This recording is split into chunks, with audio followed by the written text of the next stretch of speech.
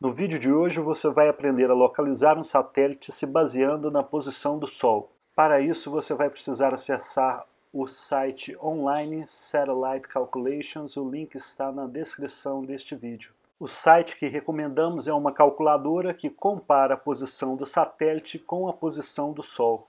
A primeira coisa a fazer é selecionar o local onde você vai instalar a sua antena.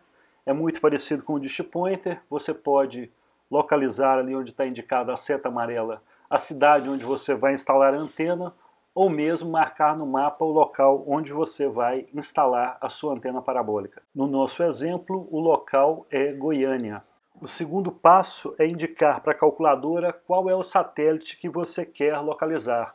No nosso caso, nós vamos localizar o satélite Star One C2.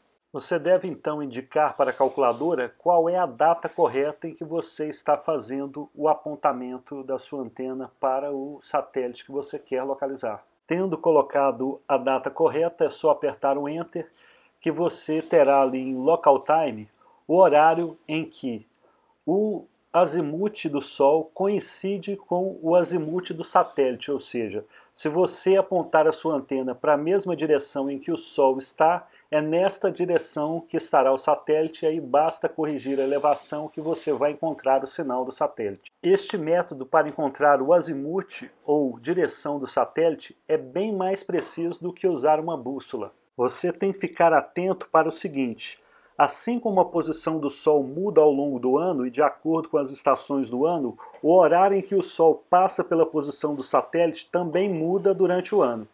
Por isso, você deve calcular a posição do Sol em relação ao satélite que você quer apontar a cada vez que for fazer o apontamento da sua antena parabólica, pois se for tentar usar a mesma posição que usou há dois meses atrás, o seu apontamento não vai dar certo. Não esqueça de avaliar esse vídeo com um gostei para ajudar o nosso trabalho, se inscrever no nosso canal se você ainda não fez, há dezenas de vídeos muito bons aí para você assistir.